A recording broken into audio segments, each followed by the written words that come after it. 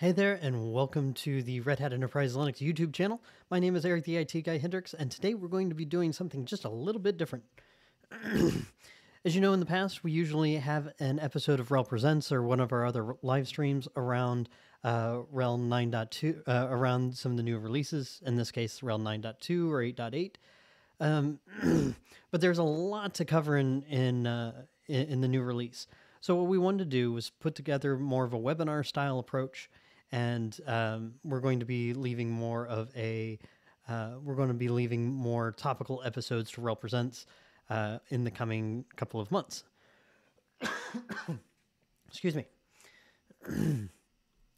so, for those of you that have hung around the channel um, very often, um, you know that my name is Eric the IT Guy Hendricks. I'm a self appointed operations advocate here at Red Hat. Sorry, uh, lost my voice there. Um, I'm sort of a self-appointed uh, operations advocate here at Red Hat, which means that uh, I, I, lean on my my uh, ten years or so of systems administration experience, and uh, and tie that into um, my love of co- uh, creating content. And so I I love connecting with folks just like you all, and um, seeing what problems you're dealing with as systems administrators, developers, and architects. And uh, excuse me.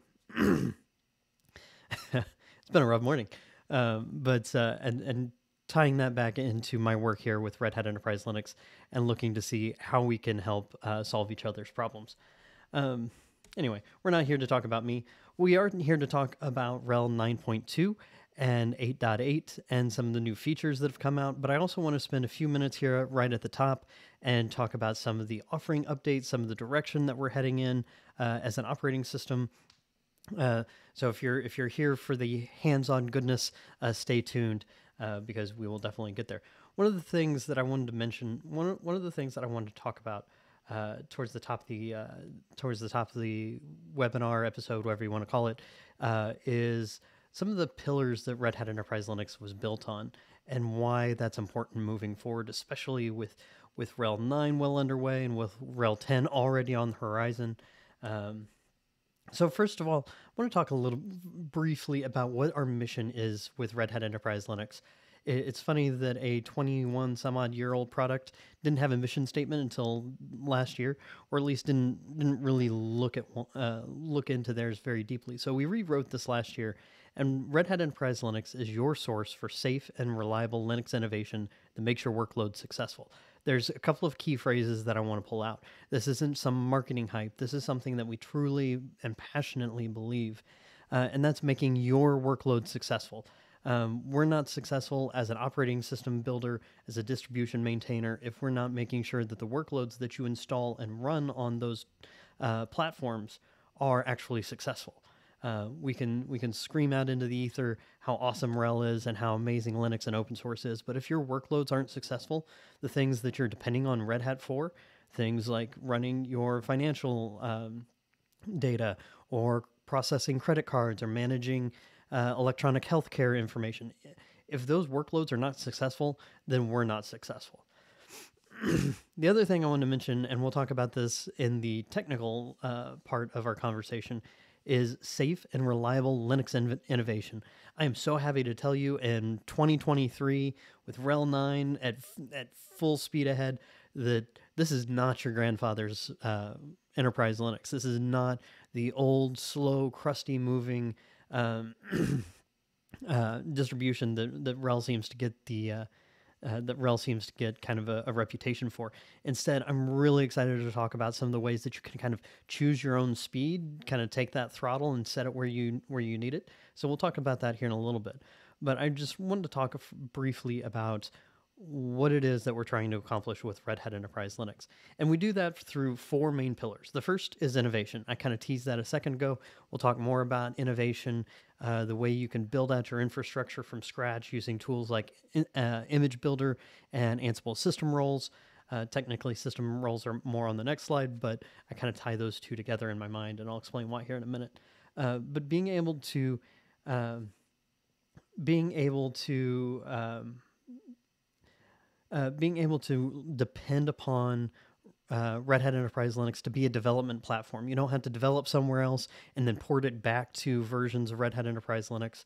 Um, and that's that's the innovation tier.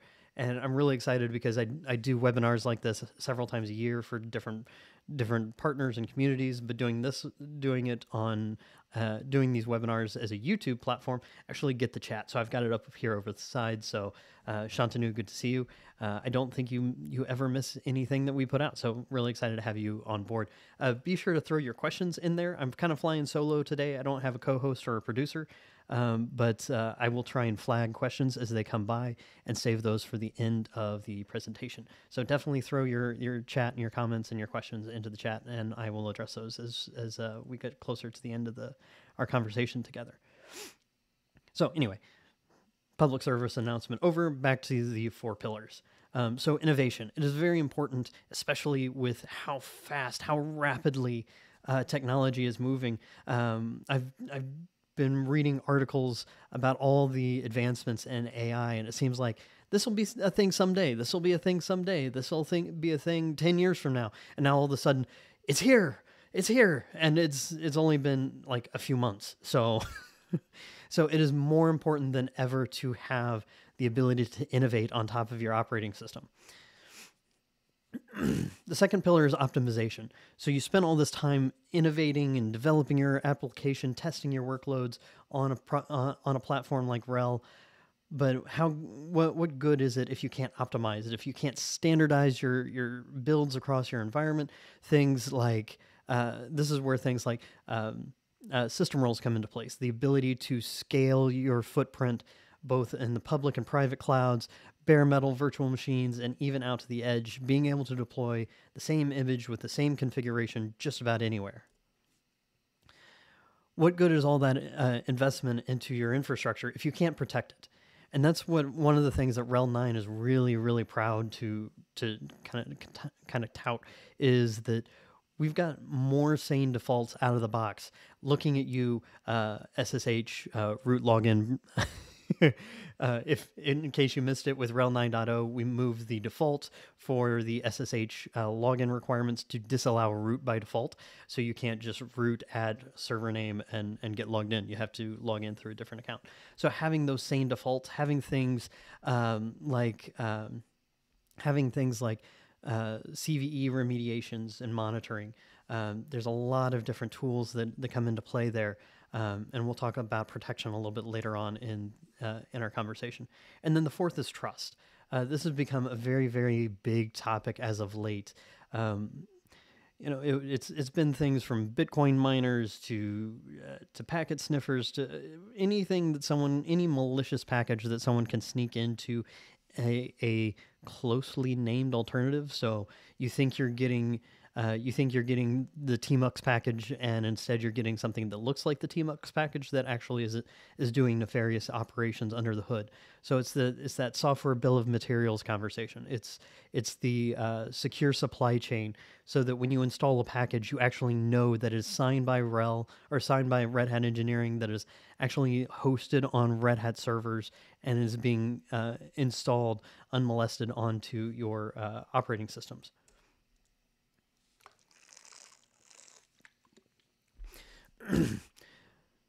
so 20 some odd years ago when Red Hat Enterprise Linux and, and, its and its older variants like Red Hat Linux really came onto the scene, it was enough to sort of pitch uh, pitch Red Hat to to uh, CIOs and to systems administrators because of two things. It was open source and it was supported. So that's that's this com- that's this conversation around enterprise open source.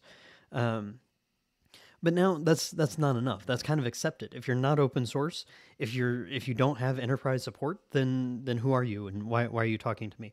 Uh, that that seems to be the the the market uh, the market trend these days. And uh, but Red Hat has grown to be so much more than that. You know, Red Hat is is twenty thousand people strong, and uh, we wouldn't be where we are without an ecosystem numbering in in the ten in the ten thousand range people that we work with hardware vendors, software developers, um, government organizations.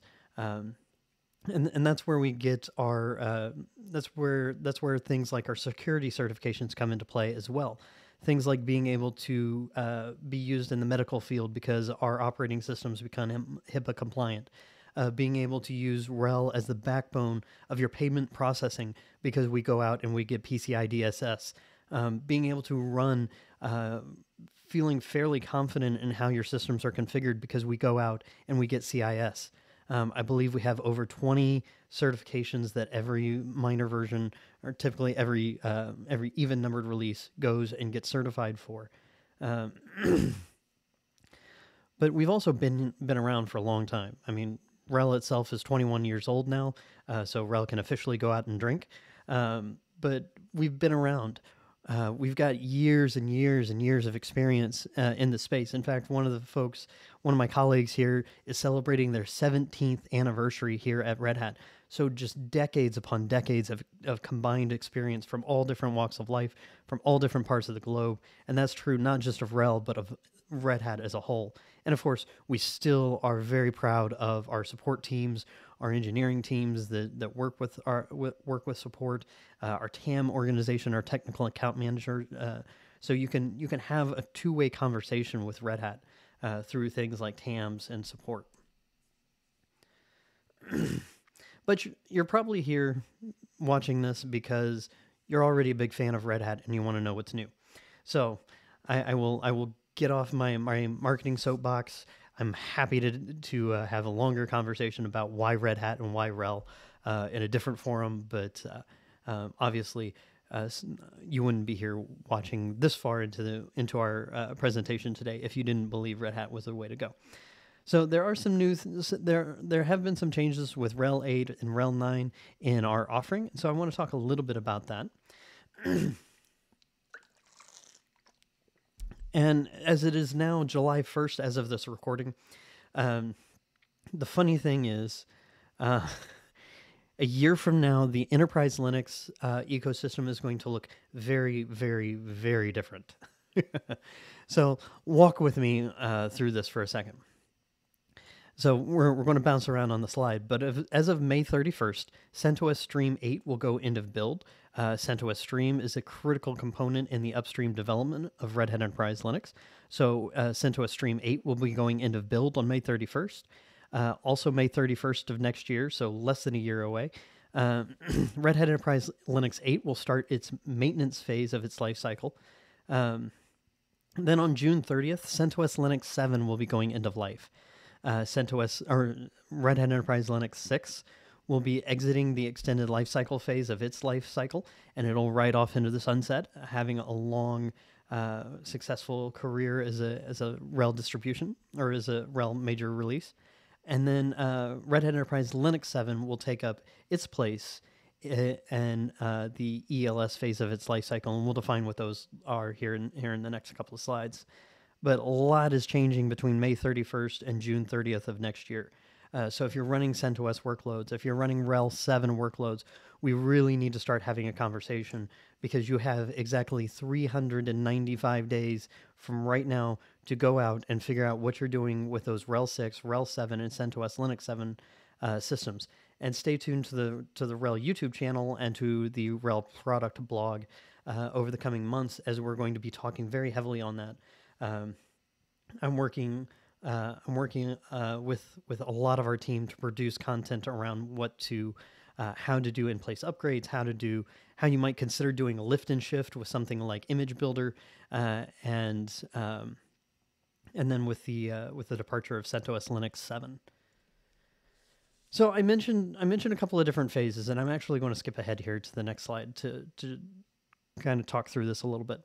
So, with the release of Red Hat Enterprise Linux 8 about four years ago, uh, we moved to a predictable release model and to a standardized uh, support cadence.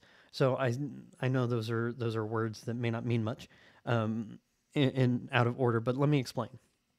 So, with RHEL 8 and RHEL 9, they get five years of full support. So that means all the feature enhancements, the hardware enablement, the new kernel, um, all of those things. Um, and uh, and a and a specific uh, release cadence or specific SLA for um, bug fixes and security errata. So that's the first five years. The second five years of our standard 10 year life cycle is uh, maintenance support. And what that looks like is uh, you don't get any anything new, but you do get security feature or you do get security fixes. You do get critical bug fixes backported uh, from the current fully supported operating system uh, back into the uh, into the maintenance support. Excuse me, and then um, so that's our standard ten year life cycle. That that comes complete with any uh, Red Hat subscription, Red Hat Enterprise Linux subscription that you get, and that is for ten years for each um, for each operating system. I also mentioned that we went to a predictable uh, release cadence, and what that means is we do three years between major versions. So RHEL 8 is now four years old, RHEL 9 is one year old, and you you heard it here first, folks. I can pretty well tell you that by this time, two years from now, we'll be running on RHEL 10.0. Um, so don't tell anybody else. Actually, tell everyone else, um, because um, we we've moved to that predictable release cadence. So you, and then you can get an idea of when to expect that release by just doing some basic mathematics on our minor releases that come out every six months. So um, about three weeks ago, I think I, think it's three weeks now. Um, we went to release, two weeks of release, and then Red Hat Summit. So I'm still a little, brain's still a little muddled, but uh, um, about three weeks ago, RHEL 9.2 was released, and then two weeks ago, yeah, this sounds right, RHEL 8.8 uh, was released. and so you can imagine, you can get a good idea of when to have some resources available to look at the next minor release. Uh, because you can add, you know, May plus six months and get a good idea of about when to start expecting that next uh, minor release, and that can help you. That can help you um, plan resource availability, if you have to certify your application or your, your infrastructure stack on things like uh, for, for certain workloads or for certain environments, um, looking at things like GovCloud maybe, um, you got an idea of when to expect that uh, to come out. So predictable release cadence, three months or three three year major release, six month minor release, and then um, a standardized life cycle five years of full support, five years of maintenance support, and then we've got a two year add on for your subscription for that extended life cycle support. Now I'm going to jump back to uh, back to the previous slide. So you notice that RHEL 6 is right at the end of, of, of its time of its time frame. It's been around for over 11 years, and it has it it was one of the first operating systems that I ever um, that I ever utilized. Uh, RHEL 5 was actually the first, maybe RHEL 4, um, but RHEL 6 was like the the majority of my workload, and then RHEL 7. Um, so you'll notice that, that RHEL 6 is about to ride off into the sunset um, and will no longer be offered as an ELS add-on. And then uh, RHEL 7 will be moving into that ELS phase. Um, so it, if you're running any RHEL 7 systems after June 30th of next year, 395 days from today, um, you will uh, you will need that ELS add-on to continue running in a supported fashion, uh, and that's for two years. But my hope over the next year is to help work with each and every one of you uh, to get into a cadence where we're not in the situation where you may have RHEL 6 systems on ELS, uh, which does which is a paid add-on, where you've got RHEL 7 going into ELS. You've got um, you've got community supported distributions, things like CentOS Linux that are going end of life. Um, I'm really hoping to help move move us all into a cadence where you can do in place upgrades, where you can do quarterly or every six month or monthly patch cycles, something to keep your systems up to date. Um, so as RHEL 6 moves off, as RHEL 7 moves into ELS, we've got RHEL 8 moving into maintenance support. The only thing that isn't changing on that on that slide is that RHEL 9 will be in full support until I believe May of 2027. Um, so all of this is actually public information. So um, it's hard to tell on the slides, but I will put this all in the show notes uh, over the next couple of hours. Um, I'll put links to our lifecycle page that has some of the dates published, um, but you may actually want to try and grab a screenshot of that slide and uh, grab a, a screenshot uh, of that slide so you know so you have all the versions and all the dates laid out there. So I mentioned that we had some offering updates as well. Sorry, I kind of got bogged down in the in the details there. I'll, I'll try and, and pick up the pace a little bit. but uh, I'm actually going to jump ahead to the uh, uh, RHEL 9 uh, minor release schedule. So you can see that we've got we've got minor releases every six months, all the way up to RHEL 9.10, uh, which will be the final minor release of uh, of RHEL 9. Uh, we just released 9.2, and you notice that the even numbered releases have a little bit longer life cycle. And I'm really excited because um, uh, Shantanu and Shantanu and Aaron are, are, getting ahead of me here with the in place upgrade conversation. Uh, bear with me. I, I, see I see your questions and your comments. Uh, we'll we'll get to in place upgrades here in just a minute. Uh, sorry, uh, saw a shiny object over here. Um, so so minor releases come out every six months. And you may be saying, Eric, that is just too much. We can't recertify our stack that often. Well, the good news is you can actually stay on even numbered releases, which means you could recertify once a year or you can get our EUS add-on. So don't don't confuse that with ELS, which is lifecycle. EUS is updates, which is minor releases. Um, you can actually get uh, yeah squirrel. Uh, you can actually get um, you can actually stay on even numbered minor releases for up to two years uh, with with uh, with the EUS add-on. So what that means is if you require certified applications, or if you require your applications to be certified, or if your vendor needs to certify, um, then you can actually stay on even numbered releases and only update between those even numbers. Um, or you can kind of park your operating system on a specific EUS release for up to two years. Now, that said, we have certain cases like our partnership with SAP where it takes quite some time, especially between majors, to get uh, that workload certified on on an operating system because certain certain environments, certain certifications require everything to be recertified uh, every time that say the kernel number or the release version of, of the distribution changes. And so what we'd seen with SAP in particular is that two years wasn't quite enough. By the time this two-year certification process was done, then it was time to move on to the next one. So it didn't give you a lot of time to kind of park and catch your breath.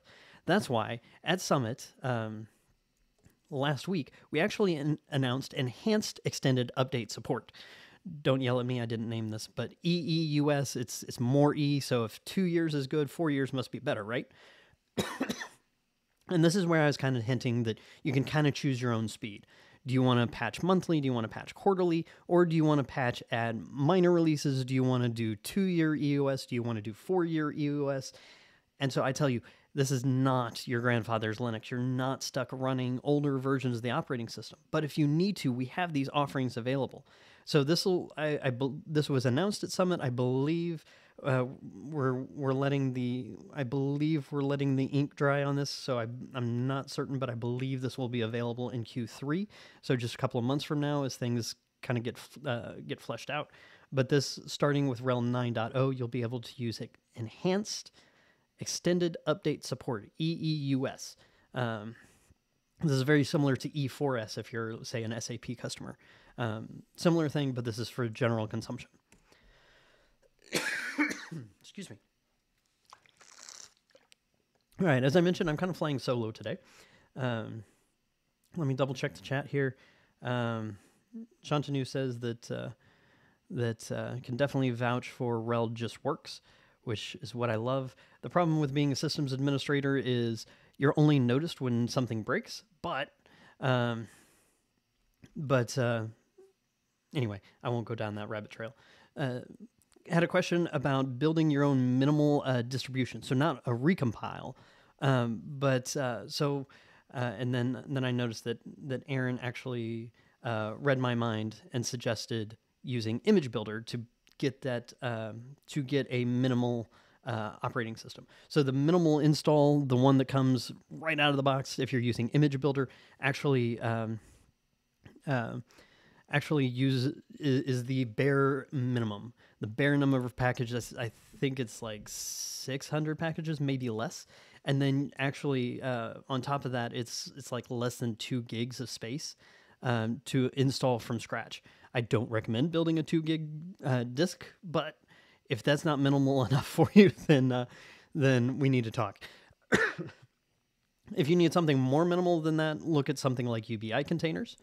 Um, And then, uh, then one last question, and then we'll dive back into the deck here. Uh, is RHEL UBI, uh, which ju- does have uh, version 9 and version 8 images free for commercial use? Um, excuse me. Um, so yes, I will. I would redirect you to the FAQs, but it is uh, those packages, uh, those those uh, UBI images are there for for uh, for use. They're they're redistributable, um, and uh, so highly encourage you to look at UBI and some of the use cases around that. Um, so here's here's the uh, part of the conversation that I was I was noticing. Man, goodness, excuse me. Um, so in place upgrades, we're going to talk about that next because there are basically two different avenues that you can go. And I might actually just hang on this slide here for a minute because I, I want to talk about what I'm seeing.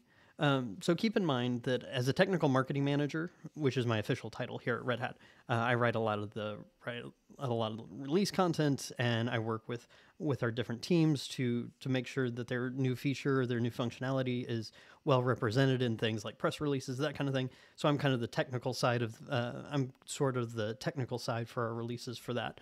Um, but what I'm really excited about, well, the I kind of had this split brain issue on this topic because as a former systems administrator, Lord knows I carry my scars. But here's the thing I represent both Image Builder, in place upgrades, and Convert2RHEL. So I could tell you two completely different stories, and both would be completely viable. So, in very short, the first one is I've got I've got all this legacy stuff, and I need to keep tagging it, dragging it along. I need to keep using it until it, the application retires, or until we can get a new version of software, or until um, you know until the the application just falls down dead and we can't support it anymore. Been there, done that. It's never fun. Uh, we had a Microsoft Windows server that was running OpenVMS in a virtual machine with like six terabytes of database data for years of this mid-sized company that I used to work for as a systems administrator. So you talk about legacy debt. I feel your pain. Trust me, I do. Um, so you could take something like CentOS Linux 7 system and do a convert to RHEL, and that puts you on RHEL 7. That's easy enough to do, and it's pretty straightforward. We'll talk about that here in a couple of slides. The other option is that you'd then be stuck with instead of a community operating system that's no longer in existence, or th- that iteration, CentOS Linux, not CentOS Stream, CentOS Linux, um, you could then move into uh, then you're then you're kind of stuck at RHEL 7.9, which then means that oh no, now I've got ELS, so now what am I to do? Well, then you can do an in-place upgrade to RHEL 8, We'll talk about that specific use case here in a minute because we also made an, an announcement around that at Summit as well.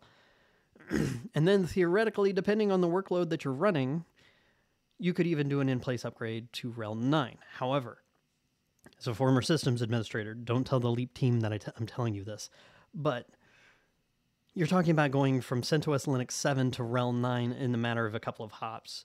The underlying Python libraries, the kernel, the uh, the runtimes, whatever application you're using, you would have to be able to ensure that at every at each leap that you revalidate your application to make sure that everything works appropriately. Now, if this is something that you're running, maybe it's Nginx or um, Apache Tomcat. Uh, maybe it's maybe it's one of those things that's available within the Red Hat repos, and you're not doing any customizations on top.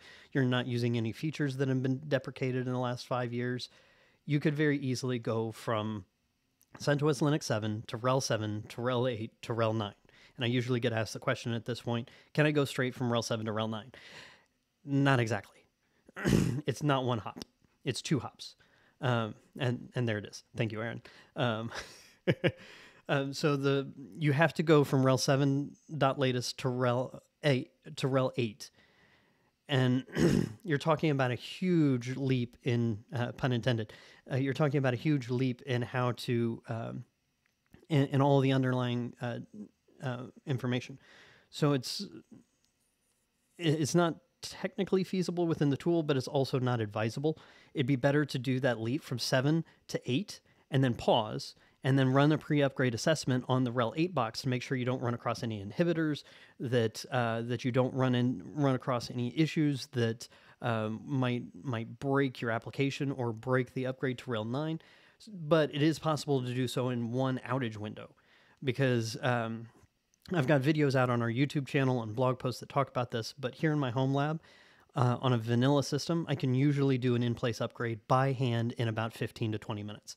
Keep in mind that's consumer grade hardware with no customizations and no major workloads. But so you could figure that if you take a couple of hours, um, if you take a couple of hours per system or doing it in, in, in bulk, you can actually do that. Um, uh, you can actually make that leap from seven to eight to nine, but you can't go from seven to nine. Okay, so I've I've kind of kind of rabbit trailed over, over on that. So that's one use case. You can use Convert2RHEL and in place upgrades to keep that legacy debt coming along. But, however, is that something you really want to do?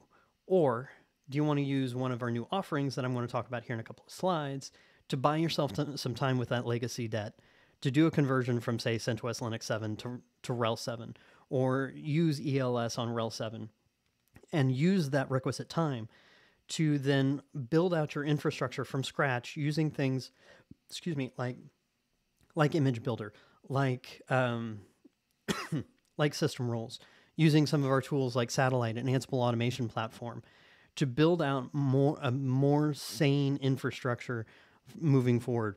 Um, because as, as we'll see as we talk about Leapp, Leapp is our tool going forward for in-place upgrades. It based on the upstream work of, of uh, that we've seen on Fedora Linux. The machine I'm running on today is Fedora Linux 38. This particular piece of hardware I've done in-place upgrades on since Fedora Linux 34, 35. Uh, I actually had a workstation for a long time that was even older, like into the late Fedora Linux 20s.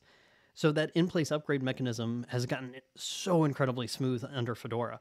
And that is what has been feeding the RHEL in place upgrade tooling for the last several ma- uh, major releases. So it's you, you got to pick your poison here. It's it's choose your own adventure. How do you want to get to a state where you are well supported, where you can maintain your infrastructure, so we don't end up into in this June thirtieth, twenty twenty four situation again, where all of a sudden you wake up one day and your entire infrastructure is no longer supportable. So, with that said, let me talk about some of the some of the features and some of the um, uh, and some of the new offerings that we've got around this. Trust me, over the next year, this is probably the conversation I'm going to have with folks the most. but as I say that, I forgot my own deck. Um, but uh, so, as, as, you may have, as you may recall, uh, around February or so of last year, we actually introduced uh, uh, RHEL support for ARM architectures, um, and we are continuing to grow our ARM uh, footprint. Now, this doesn't mean that you can grab any ARM box off the shelf and install RHEL on it and get support. Uh, right now, Red Hat Enterprise Linux is supported on system ready only platforms. If you're not sure what that is, I'll make sure to put in the show notes a link to a system, uh, a link to the developer blog for ARM that talks about what system ready is. But in short, it is basically a set of loosely agreed upon standards of what an ARM chip should look like um, gets into the hardware specs, that kind of thing. But at a high level, it's just these are things that the ARM community thinks should exist in all ARM platforms. And then I've also got a link, and I'll make sure to share that in the show notes as well, uh, to Red Hat's supported catalog. But with each minor release since last year, we've uh, since the announcement of RHEL 9, we've been adding to that catalog slowly but surely. Uh, it's there's both the strength and the strain of of ARM not being a single company behind it is that you get to support a whole lot more use cases, but at the same time, it's it's kind of a one-off type approach for each of those um, each of those scenarios. But probably the biggest announcement for RHEL 9.2 is we now have 64K page sized kernels. Try and say that five times fast. I tried last night, it didn't work. Um, but uh, you can now choose whether to use a 4K kernel or a 64K kernel. And if you have a workload that would benefit from this, you probably know who you are. Um, and uh, so, so that is now an option when you build a RHEL system for ARM is you can use that 64K page kernel size, which under certain workloads drastically increases, increases the performance and memory footprint of that workload. Um, so if if you have a workload that probably suits that, you probably know who you are.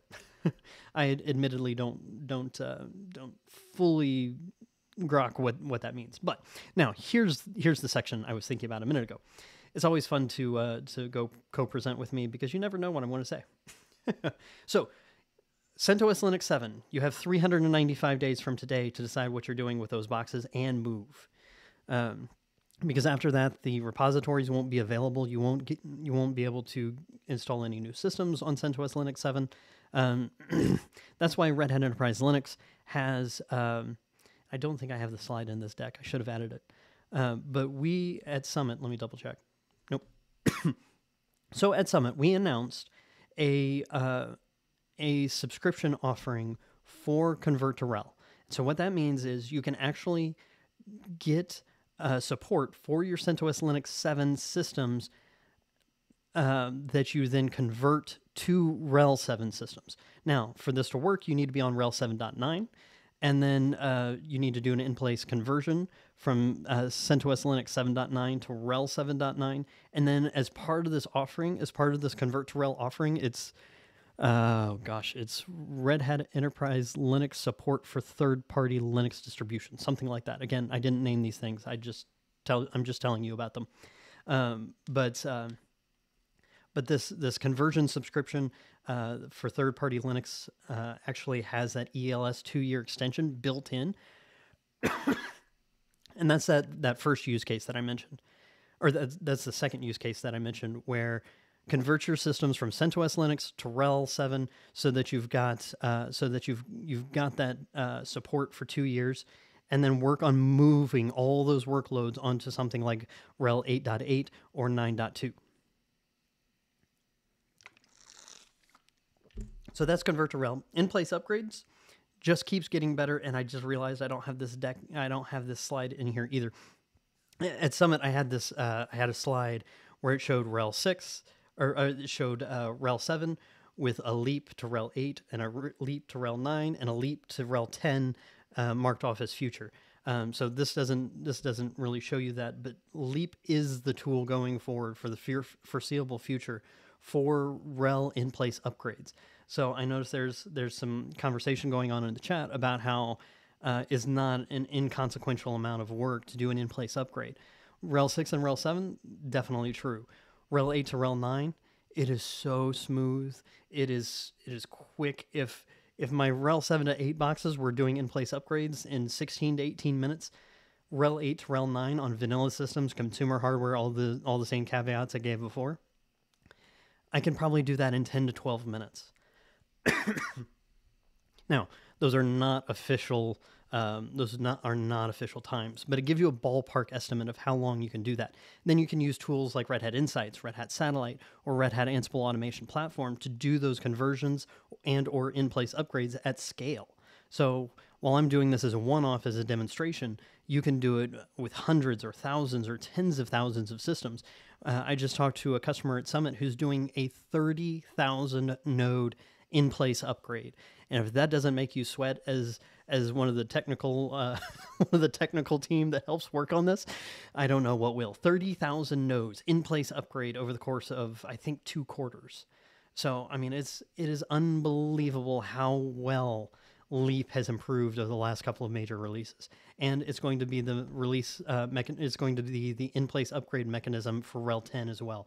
So this is what I'm saying: get into a cadence, start upgrading alongside of Red Hat Enterprise Linux, and you won't end up in the situation where you're kind of stuck. So I kind of hinted at this. This is that second uh, workflow I was talking about, where you can use something like Image Builder. This is one of my favorite tools, or an, an entire portfolio of tools. Um, so when you're running Red Hat Enterprise Linux, you can actually use Image Builder to define what your image looks like. And there's three different ways you can do this. It's there's a command line tool, there's a web console uh, application uh, that you see here, and then there's the console uh, version uh, that's part of the Red Hat Insights suite of tools. Um, so what we're looking at is a screenshot from my home lab here um, from just about two weeks ago. Um, and uh, Image Builder used to follow a wizard-like very linear approach to defining your images. But if you're like me, you might think that okay, so I need to add these users, and oh yeah, I forgot the this this group of database users needs these tools, and oh yeah, I forgot to add our service account for for our Ansible playbook, so I need to go back to users. I don't build my systems out linearly. A, a wizard just doesn't doesn't match with with my scatterbrain. So we've moved to so uh, the web console piece has moved to. Um, um, uh, so Image Builder in the web console has moved to this beautiful card system uh, to where you can kind of click and choose what you want to work on, much like the Anaconda installer has been for, what, decades? And, uh, and then two of the other features that I'm really excited about is uh, OpenSCAP profiles. So if you are using PCI um, or CIS or HIPAA or one of the other uh, one of the other tools, or, or one of the other certifications from a global uh, entity that your systems are required to meet, you can actually include those OpenSCAP profiles in your image. So it'll come predefined with all of those things. So, like custom file systems, um, certain package sets uh, be installed or uninstalled. All that comes predefined in your blueprint now. And speaking of blueprints, probably the next coolest feature is the ability to import and export blueprint files. So, think about this you can go and build an image builder um, blueprint, which is basically a TOML file. You can upload that into a Git repository, so it's version controlled, but you can also tie that into uh, CI CD pipelines. Um, you can uh, define your company's golden image and then export that TOML file and give that to all of your development team. So they are literally, they can literally take their laptop spin up an official virtual machine that exactly matches production and do their development against that platform. Think about this too. And and if you're a partner out there or somebody who builds on top of RHEL, hear me please because this is going to change how you do business with RHEL customers. Imagine put yourself in my shoes about a decade ago when I was a RHEL systems administrator and the predominant workload that I worked on was Oracle RAC databases. And if you if you ever worked on that like I did, you remember that there was like a 6 or 7 page black and white PDF that you had to download. Sorry, I'm getting choked up. I'm so excited. Um, so uh, there's a six or seven page PDF you had to download, and it was all the kernel parameters, there's all the packages that need to be installed, um, everything that Oracle RAC expected to be in place or tuned in order to actually run RAC successfully on top of RHEL. Um, imagine instead going to the Oracle, uh, your Oracle customer portal or Microsoft SQL Server portal and downloading uh, instead of downloading the installation or downloading the repo configuration file instead you download a single toml file. Import that into your image builder and then add your add your company specific things like your systems administrators adding all their user accounts or ssh keys. Um, maybe you use vim and tmux side by side on all of your servers to do management. Imagine what it would be like to run uh, vendor defined blueprints that you just download off their website, import into your own image builder, and you're literally building out the images exactly as the vendor would ask you to build them out. Add your add your custom environment stuff on top and you are good to go. I mean think about think about how much smoother building out new images will become when you can import and export those files when you can version control them when you can build the OpenSCAP profiles directly into the image. This is just the tip of the iceberg and i am so excited for RHEL 9.3 and 8.9 this fall. Yes we're already talking about that because I can't wait to see what the community and what all of you do with that and what the image builder team is going to add into the next version of image builder because a lot of this stuff the the customized file systems the custom uh, package lists the OpenSCAP security profiles importing and exporting of blueprints all of that is driving towards a more of a single one-stop shop to build out your custom images Okay, as you can tell, very passionate about Image Builder. We'll be talking about that more in the coming weeks on uh, on this channel and on the product blog. Uh, but uh, I want to I want to cover a few more things.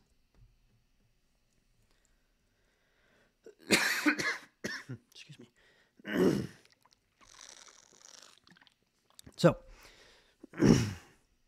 clearly on the struggle bus today. Sorry. so one of the pillars was protect and trust. Uh, those were two of the pillars, half of them, in fact. Um, and one of the things that RHEL 9 is really good about doing is introducing more sane defaults out of the box. Of course, you can go and turn that, you can go and, and change that based on your environment needs. But the, the defaults are more sane out of the box. Again, definitely picking on uh, SSH server and not being able to log in anymore as a root uh, here in 2023. but we've also got uh, the ability to now use a system role to register your systems with um, with Microsoft Active Directory. So if you're running in Azure or if you're in a Windows heavy environment, you can now register your RHEL systems with Microsoft Active Directory using nothing but a system role. And if you're unfamiliar, system roles are basically very, very small, customizable Ansible playbooks that manage a specific service, whether it's SSH, whether it's the kernel, whether it's web console, or now uh, Microsoft Active Directory realmd authentication. Um, so workloads. I've I've talked a little bit about Microsoft SQL Server, um, as well as gaining access to the Microsoft uh, Active Directory integration. Um, so you can now log into your SQL Server using AD authentication. Uh, you are also able to use uh, Microsoft SQL Server with always on availability groups. So if you're a Microsoft SQL Server uh, user, I think uh, my buddy Nate has got some content coming out about that uh, later on this quarter. Sorry, I'm kind of trying to hit the highlights here because I'm running out of time. Uh, so Web Console. So if you are a new Linux administrator, or if you're a Windows administrator that occasionally has to manage uh, Linux systems, or if you're like me and just certain operations work better visually, um, probably my favorite uh, tool in the web console is the disk partition layout, because I can actually see here's my disk, here's how much of it's used, I want to grow it this much. Cool. We're all said and done. Click, click, click. I'm done. I don't have to go through remember was it pv create or pv extend or okay i forgot. Let me go let me go look this up real quick.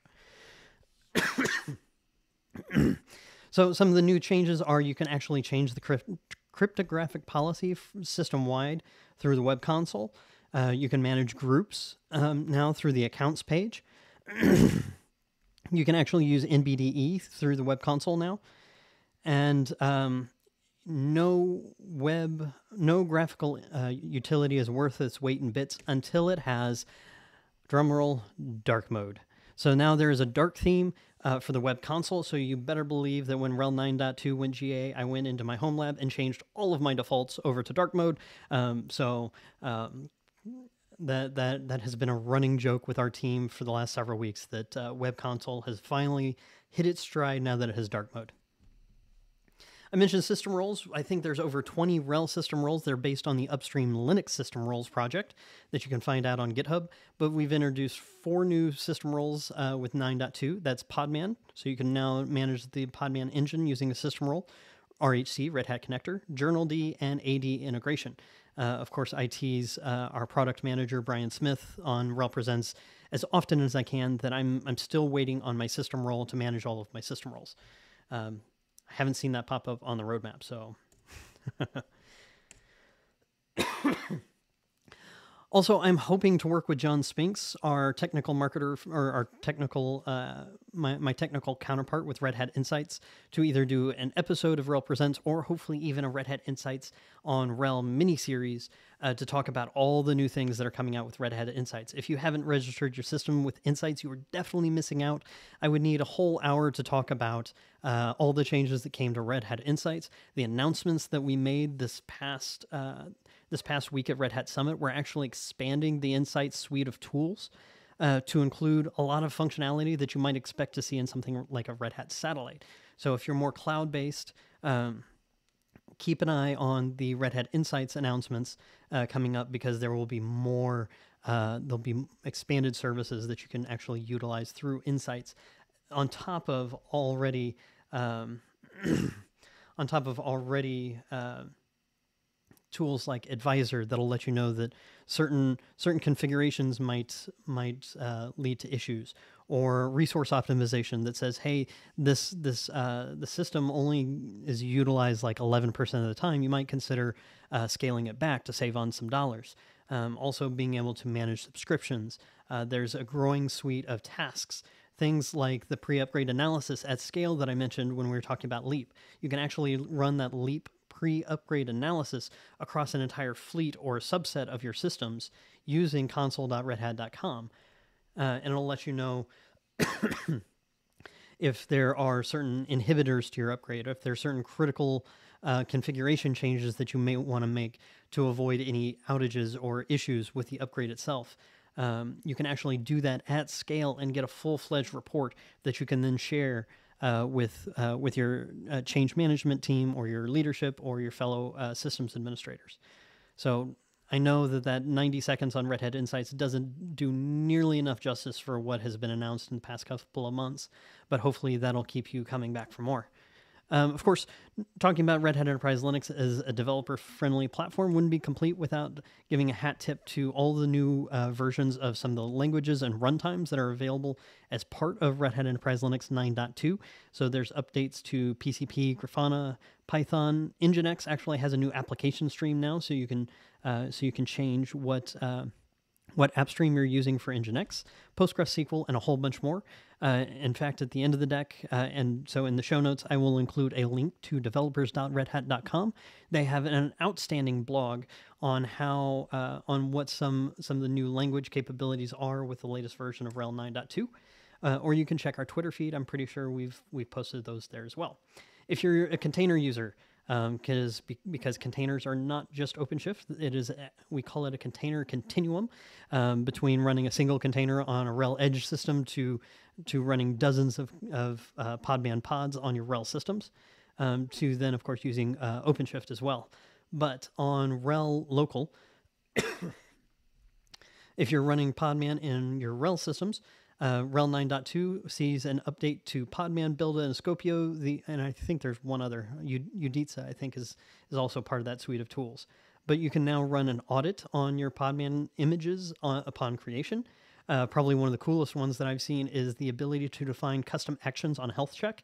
So if a pod comes back reporting it's unhealthy, you can actually give Podman a list of uh, actions to take to correct that. And then we're, of course, doing more with SigStore support for being able to build, distribute, and digest uh, trusted uh, container images. Also, I will admit uh, that because this is tech preview, I haven't had a chance to play with it yet. But I am told that Quadlet is the the new uh, the the new hotness when it comes to running containers on RHEL. Uh, so Quadlet is systemd container integration made portable. and if you've been playing with Quadlet or if you've heard of it, is now tech preview in RHEL 9.2, which means that the early functionality is available in the distribution, um, but it is not recommended for uh, production use case right now. However, um, if you use Podman as an as an obfuscation layer for your service for your workloads, uh, a lot of my Podman pods here at home running Seafile and Minecraft and Plex and whatnot actually run as systemd services, but it's Podman under the hood.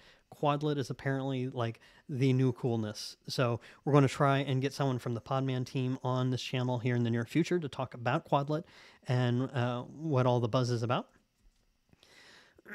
and if you're on this channel and you if, you're watching this and you've made it this far and you don't use RHEL in your home lab or if you don't have a developer subscription for individuals i highly recommend right now go to developers.redhat.com and register for a d4i subscription. Developer subscription for individuals gives you a number of RHEL's uh, entitlements entitlements. So my home lab actually runs using nothing but developer, subscri- uh, developer subscription for individuals d4i um, there's self support, and uh, you can run physical or virtual nodes. So you can run RHEL proper uh, in your home lab or for uh, small individual use cases. This is not for um, this is not for big businesses. It's not for corporate use. We do have a similar program, but you'll need to talk to your account rep about that, uh, about developer subscription for teams.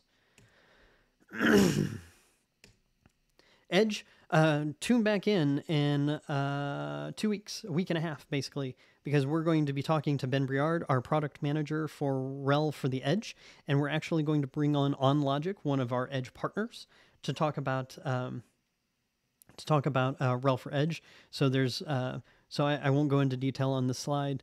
uh, because I don't want to spoil any uh, any of the uh, upcoming what's new on RHEL Presents.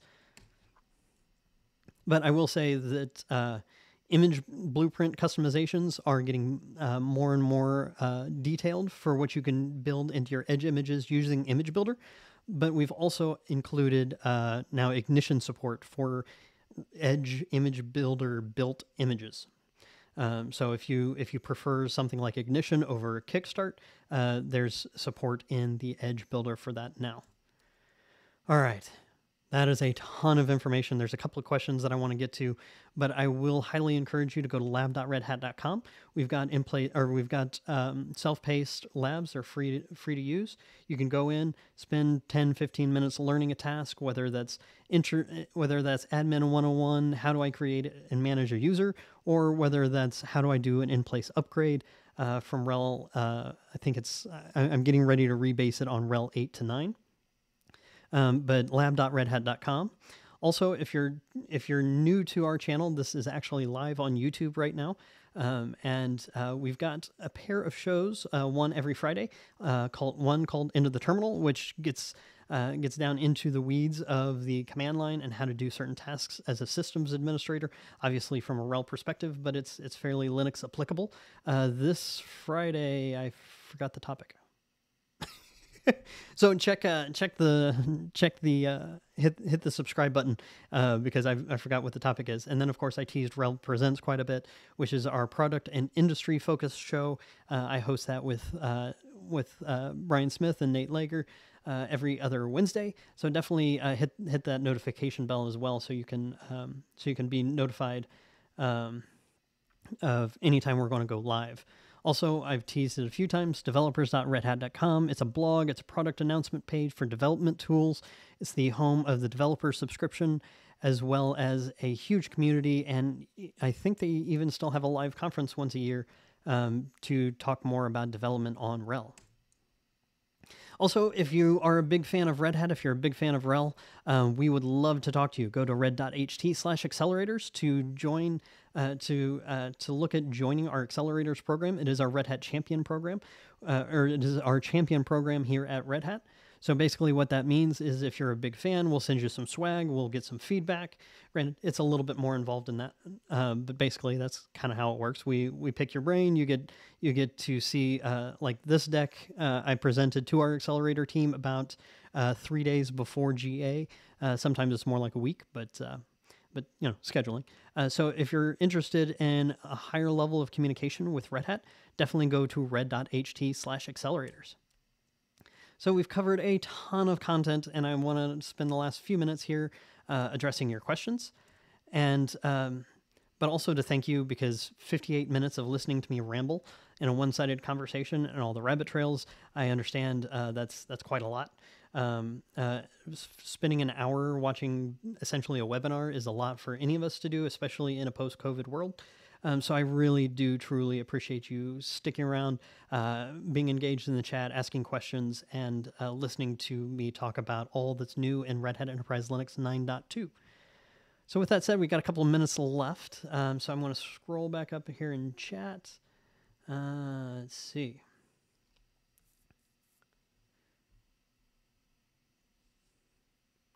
Okay, so there we were talking about Leapp. Although uh, I saw a question here about uh, accelerators come in, you do not have to be a member of uh, Big Corp to uh, to be considered for an accelerator. Uh, small to medium sized businesses uh, are are are welcome as well. In fact, um, admittedly, small to medium sized use cases is something that we've not communicated well. So maybe if you are in a small to medium sized business running RHEL or wanting to run RHEL, you should definitely look into the accelerators program and help us understand better how to talk to folks in your shoes. Um, a lot of my time was spent in mid market, both as a systems administrator and as a uh, um, and as a salesperson. Uh, yes, I, I did spend about two and a half years of my career in in uh, sales solutions solutions architecture. Uh, before I came over to the dark side, where they give me a microphone and a YouTube channel to go and, and talk to things about. But uh, but anyway, you do not need to be a quote a big customer uh, to be considered to be an accelerator. Uh, we we really always looking for all all sorts of people. Um, let's see.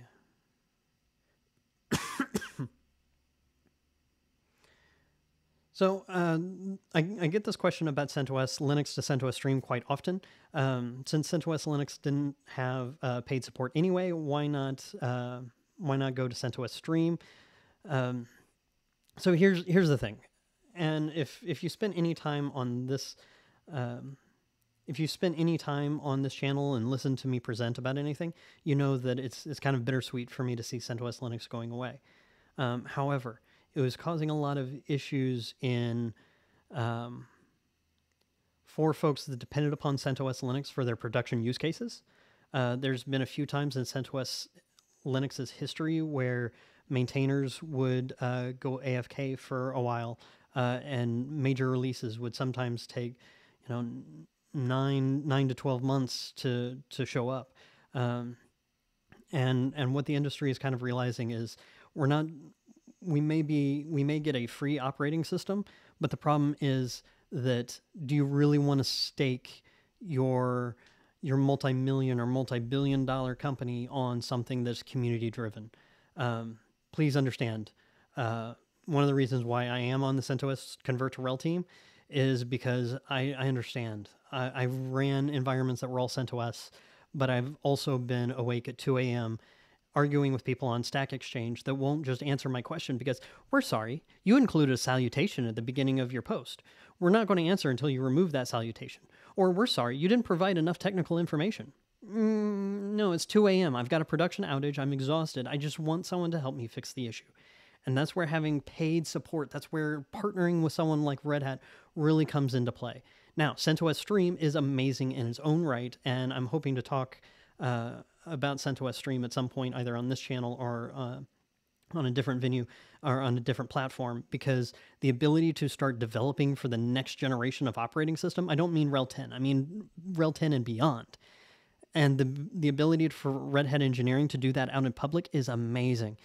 The, the activity, the flurry of activity we see with things like the SIG, special interest groups, things like the hyperscaler SIG, things like um, the um, uh, not AI um, in vehicle OS uh, SIG are doing incredible work where it's not just Red Hatters or it's not just Red Hatters and a partner. It is Red Hatters, our partners, other players in the space, and just the ability to develop for the next generation of, of technology is amazing. And that's what CentOS Stream was designed to do. Um, so I, I hope that answers your question. uh, all right, so scrolling down, I know we're over time. Uh, appreciate those of you that have sticking around with me. Um, let's see. So Shantanu asks, did the RHEL limit of two versions support change? The max for RHEL 6 would be RHEL 8, correct? I'm afraid I'm not sure I understand the question. Um, but each each major version has its own uh, life cycle. Um, uh, and, and so uh, um, so I definitely suggest here in a couple of hours I'll have the show notes done. Uh, so look at the lifecycle page to understand uh, what what's available when. Uh, let's see. So Aaron Aaron jokes that he found a bug in Image Builder immediately after 9.2 dropped. Thank you for reporting that because I know that we were working on a summit session uh, around Image Builder and OpenSCAP, and we provided like six bugs I think when we were building that. So you know, hey, more eyes uh, all, all, all what, what is it that Linus says that, uh, um, anyway, more eyes, better, better product. Um, so someone says I said Oracle RAC too many times in a sentence. I, I, I don't disagree with that.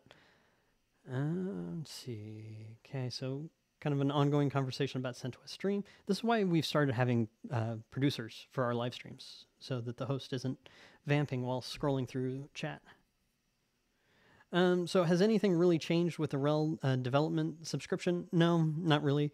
Uh, not in some time. We're just trying to do a better job of promoting it. Um, because I really wished when I was a systems administrator to understand how to subscribe my systems and get the right repositories enabled uh, in my home lab because um, because CentOS didn't have any of that layer of complexity. Um, so I kind of wished um, I kind of wished that I had that then. So apparently, I need to be on IRC. If you notice my my Connect page at the beginning, uh, I'm most everywhere. I uh, maybe maybe send me a list of places that I, I need to be to have that conversation. Uh, let's see. Okay, so that kind of kind of brings us to the end of chat. Um,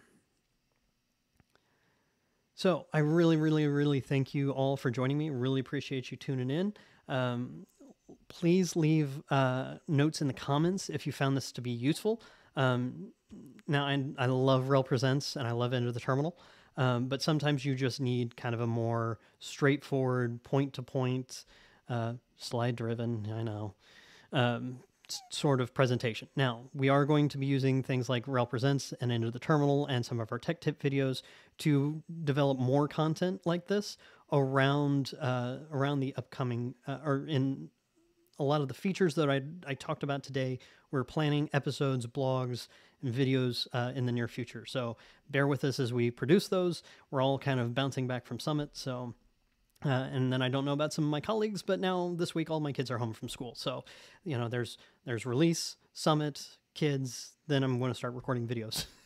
so, anyway, thank you all for joining me. Really appreciate the time and attention. Uh, please leave your comments uh, down below. Make sure to like and subscribe, and uh, let us know uh, what uh, what content you'd love to see from us. Thank you all, and we'll see you on Friday for Enter the Terminal.